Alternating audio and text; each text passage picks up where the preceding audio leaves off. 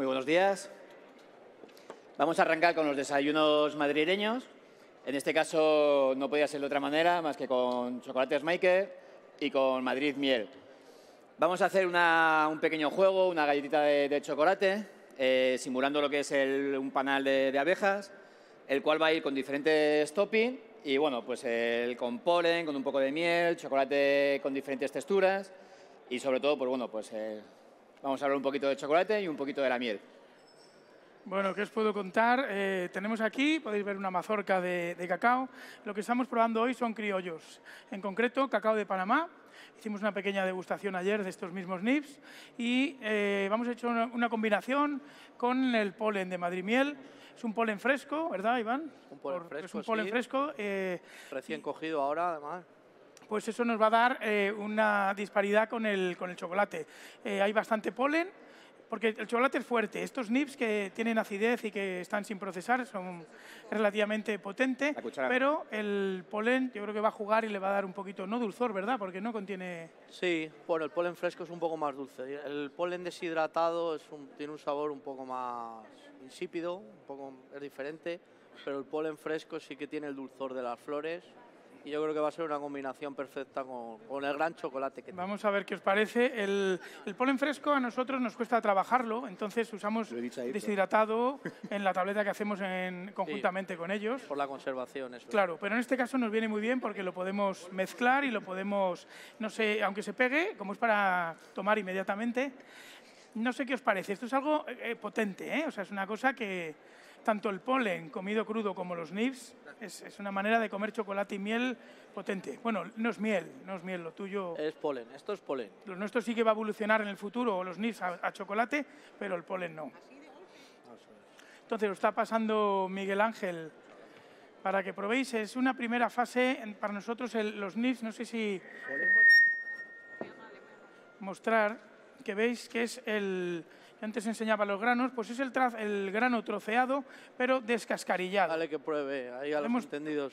Aquí partimos un grano, esto es la, estos son los nibs que tendríamos aquí, pero la cascarilla se va, la cascarilla hay que retirarla porque esto no le damos utilidad y entonces el nib es lo mismo pero troceado y ya limpio.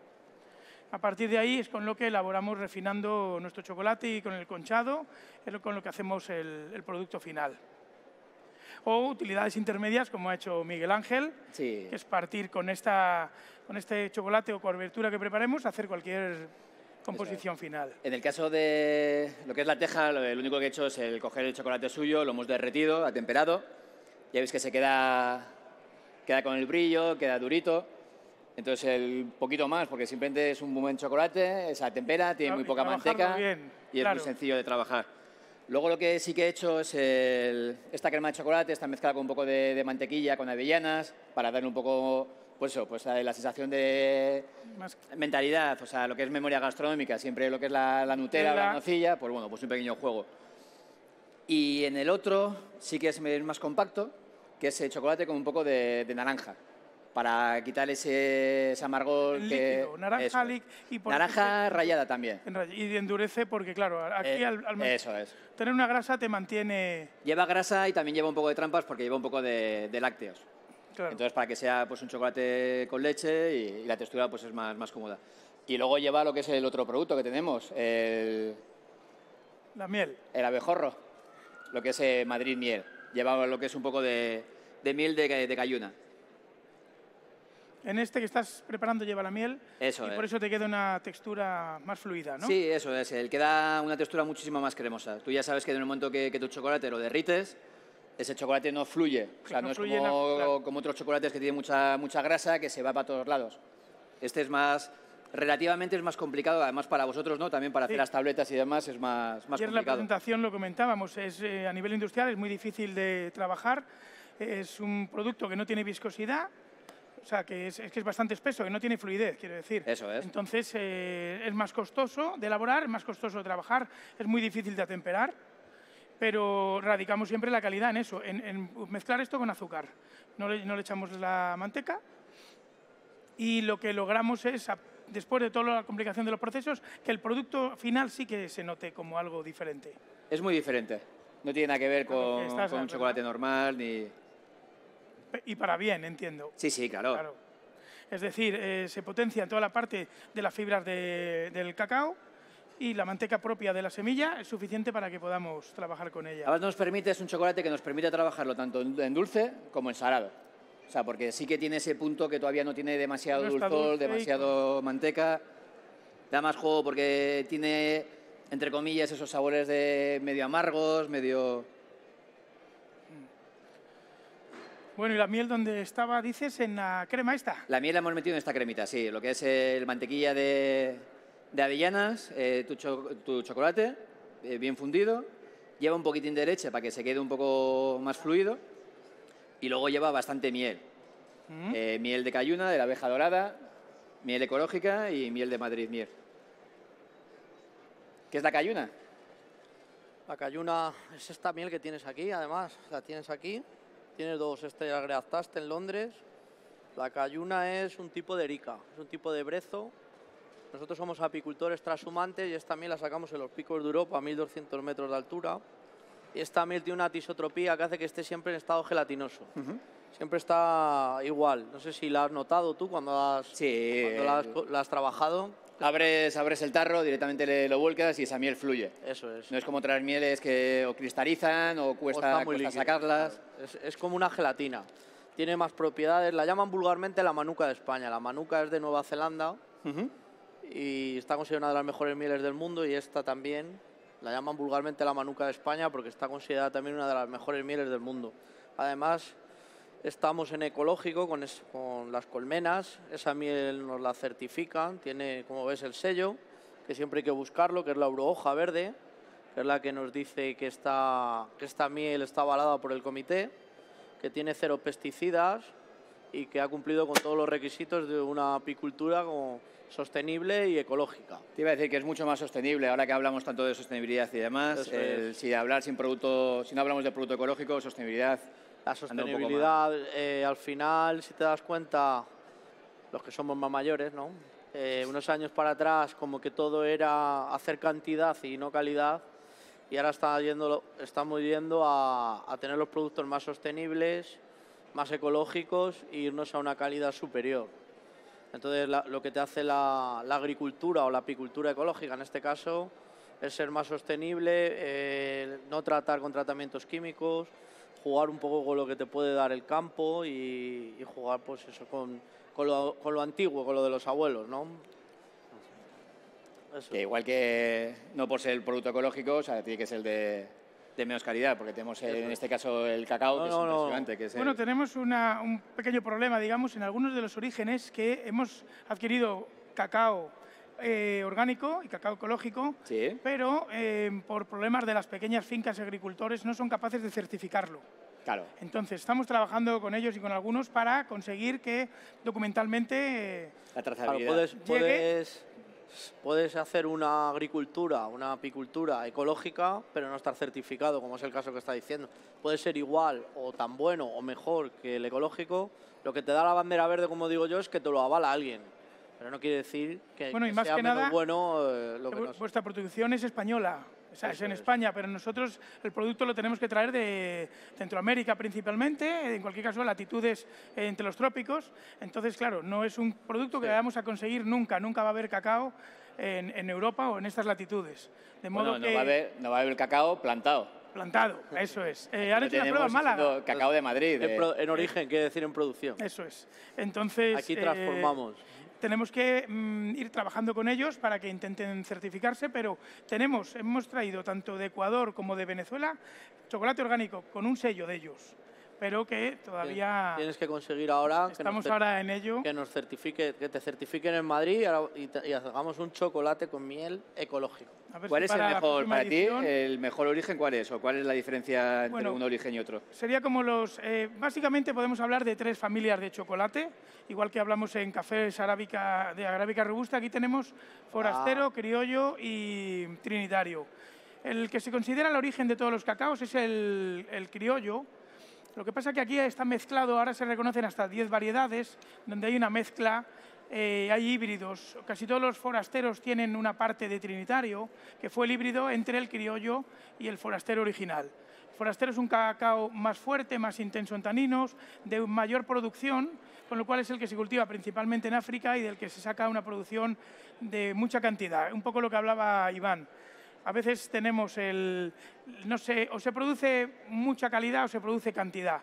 Y efectivamente no se combinan las dos cosas. Es difícil. Nosotros tratamos de coger los mejores cacaos y son, van a ser siempre criollos. Los que tienes, como te comentaba Miguel Ángel, son el, sólido es Panamá y los NIPS de ahora, los que habéis probado, perdón, es Venezuela y los NIPS son de Panamá. Ambos criollos y ambos centroamericanos. Hay otros países muy valorados como Ecuador y Perú. Esos son reconocidos. este es cacao de Venezuela, se puede decir. Sí, el chocolate es de Venezuela y es, sí. le estoy poniendo lo que es, eh, ya habéis visto los colores. Les hemos puesto las dos cremitas de, cacao, de chocolate, sobre la teja. Eh, le he puesto un poco de, de polen, un poco de, mango liofilizado, que queda crujiente con todo el sabor del mango. Y ahora estoy poniendo lo que son unas perlitas de unas petacetas de toda la vida de frambuesa con, con, manteca por fuera.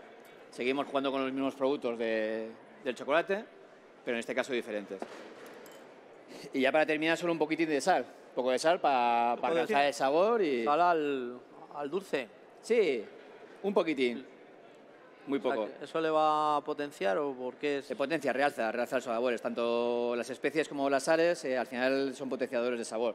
¿Y es una sal en concreto porque veo tiene colores o no? Es eh, sal negra. Sal negra, vale. Sí, una sal negra simplemente por, bueno, pues eh, otra vez jugar un poquitín con... Que yo quiero aprender a hacer con el chocolate. pero va a ser difícil, ¿no? Bueno, ya haces buena miel, así que tampoco nos vamos a forzar mucho más, ¿no? Que tengas un producto no quiere decir que sepas elaborarlo. Es ahí la importancia de los chefs, de los grandes chefs, que... Que te guste comer. El producto, por muy bueno que sea, si no está en buenas manos, pues no, luce, no luce. En este caso esto sería lo que es eh, la, teja, la teja simulando lo que es el panal de, de cacao, o sea, de, de la vieja con cacao.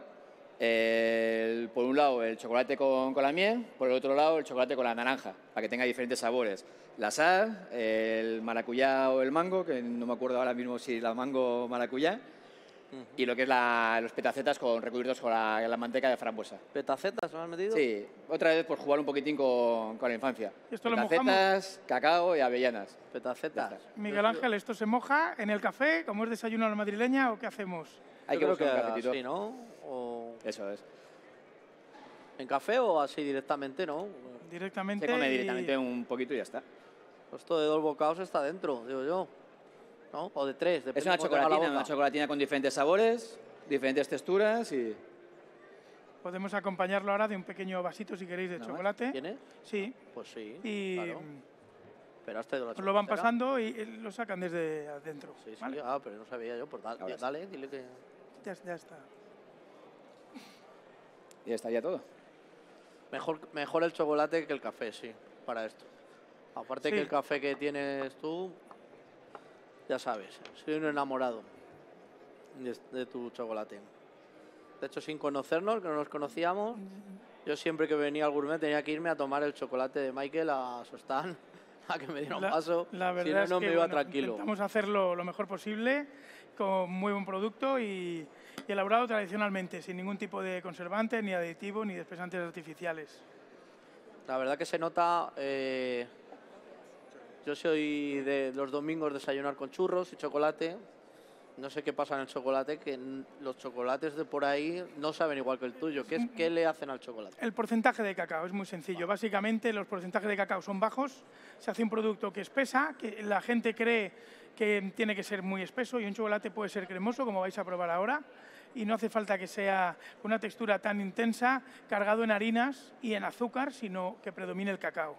Que tenga un poquito de cuerpo, pero que no sean... hay algunos que le echan agua o algo porque sabe como... Cuando le echan agua simplemente oscurece, oscurece, pero... Tuyo es más espeso y como con sabor, sabor un sabor muy intenso a, chocolate. Cuando pruebas otro chocolate, que yo te digo que es que los domingos desayuno con chocolate, siempre me acuerdo de tu chocolate y digo, voy a hacer yo el mío de Michael porque el de la mira, no vale. nosotros trabajamos no me gusta. un chocolate final que puede ser de este color y un chocolate con leche de, eh, ya preparado, de, pues se queda pues, pero vas más clarito porque hay demasiadas harinas y menos, Pero tú menos vienes cacao. que para hacer el mismo chocolate, hacértelo en casa. Sí, sí, sí. igual que si Podéis estuviera- comprarlo y lo tenemos introducido tanto en altas superficies como en alta restauración. Eso es. Y son siempre, Nos ha cortado el micro. son siempre chocolates muy intensos. Eh, ya digo, no hay ningún truco, solo hay que echar cacao.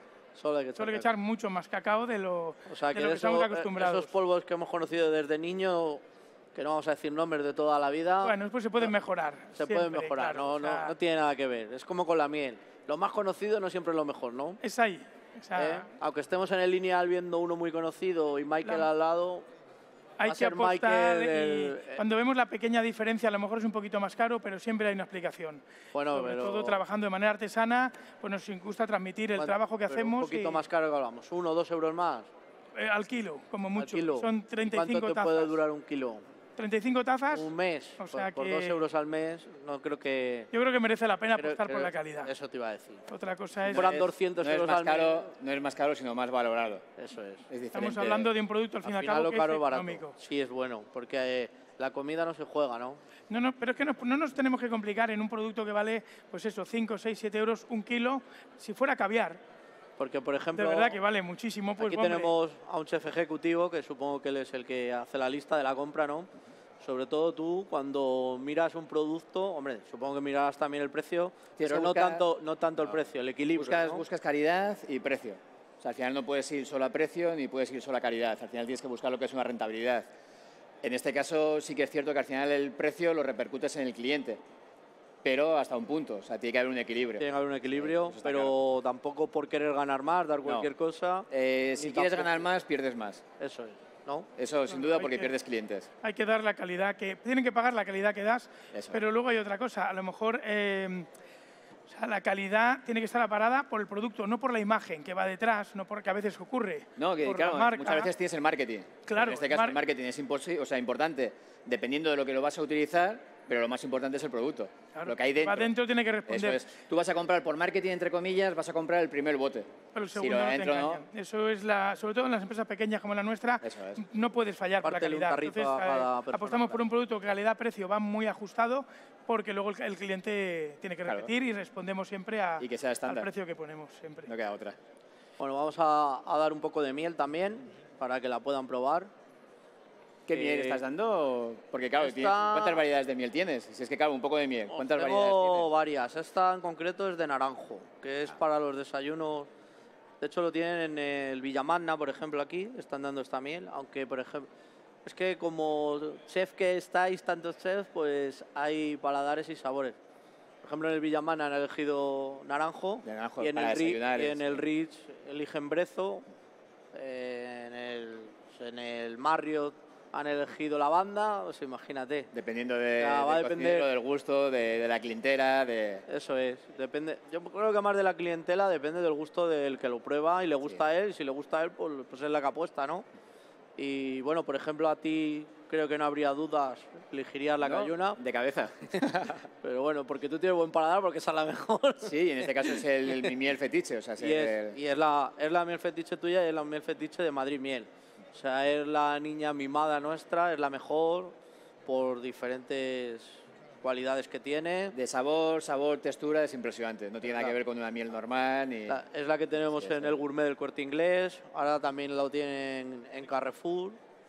Eh, o sea, es, digamos, con la que todas nuestras mieles sacamos pecho, pero esta es como que, que es la que más... como que es la que más, ¿no? Es nuestra niña mimada.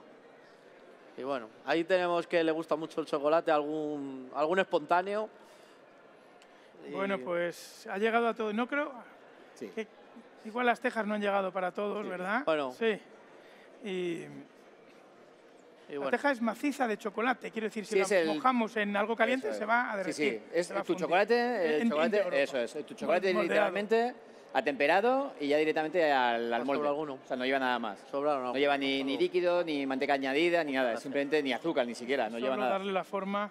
El sabor, eso, el sabor de, de la teja del chocolate es el propio chocolate de, de Michael directamente. No está manipulado de ninguna manera, ni textura, ni nada. El resto ya sí, el resto ya está con, con mantequilla de avellanas, con miel de cayuna, con eh, naranja, pues bueno, las cremitas. ¿Y cómo, cómo trabajas tú el chocolate? Has comentado que lo temperas, lo haces manualmente, lo fundes Sí. y lo enfrías un poco Eso después. es, eh, jugar un poquitín, pues bueno, pues eh, desde el punto de vista soy cocinero salado, pero llevando pues eh, más o menos lo que son los tiempos, los tiempos y las temperaturas. Eh, Rebaja subidas, la bajadas, temperatura, es. claro. Si te has fijado, la tejita está bien brillante. Sí. O sea que eso también el síntoma de, de tu chocolate, De que- pero luego también que está bien atemperado, entre comillas. Sí, sí, si no, ya sabes se queda, se queda opaco el chocolate, pierde todo el color, todo el brillo, se queda como no grisáceo. cruje y, eso no- es. y sobre todo, bueno, aquí lo van a tomar al momento, pero si fuera dentro de unos días y está mal atemperado, no vale para nada. No, no, no, no. Sabes que pierde estabilidad, se pone blanquecino y Nada, no se vale. nos va. Entonces, bueno, esperemos que, que haya Bueno. gustado o esté disfrutando. ¿Os ha gustado? Levantar la mano si os han gustado. Ah, bueno. Hay algunos que no han levantado la mano. Eso está bien. Eh, Es Sí, normal, va, va en gustos. También todavía. hablamos de- 50, del 50, producto, ¿eh? va, está bueno, está En bueno. Está la cosa, mira a ver.